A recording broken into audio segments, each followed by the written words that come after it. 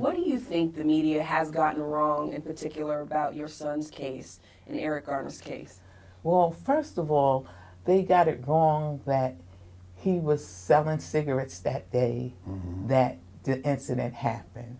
He was had just broken up a fight, and the police had been called to de-escalate the fight or come and see what was going on. But instead, they targeted him because he had been targeted before by the police officers. They have harassed him walking down the street. They have taken his money off of him, didn't voucher it, just told him, oh, well, you come down the precinct if you want to get it. And he used to tell me, Ma, he says, I going to the, um, the uh, complaint, I'm putting in a formal complaint. And I would tell him, well, just leave it alone. You know, I didn't want him to have a confrontation with the police.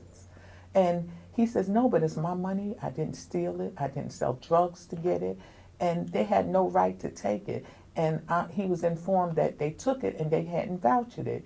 And even when they did voucher some of the money that they had taken, they told him, oh, well, when you do, if you do 10 days in jail, then we'll give you your money back. Mm. So he was asking me, Ma, do you think I should do that? You know. Wow.